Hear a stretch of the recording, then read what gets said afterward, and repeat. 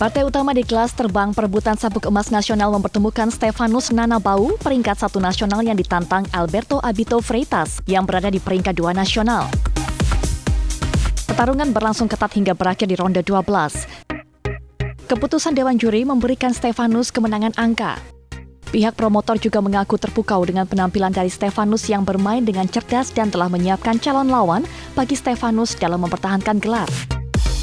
Saya sudah target ada satu dari Papua, Madit, Madit sana, untuk bisa bisa bertarung dalam uh, Stefanus mempertahankan gelar. Ke depannya diharapkan kejuaraan serupa dapat menghasilkan petinju yang mampu mengharumkan nama Indonesia di kancah internasional. Karena kita tahu uh, petinju-petinju kita ini minim, minim pertandingan. Ya, kita berharap setelah ini kita bisa mencarikan bapak angkat untuk Stefanus, Bingkai Indonesia akan mencari bapak angkat supaya kita untuk mempersiapkan diri untuk merebut gelar, internasional.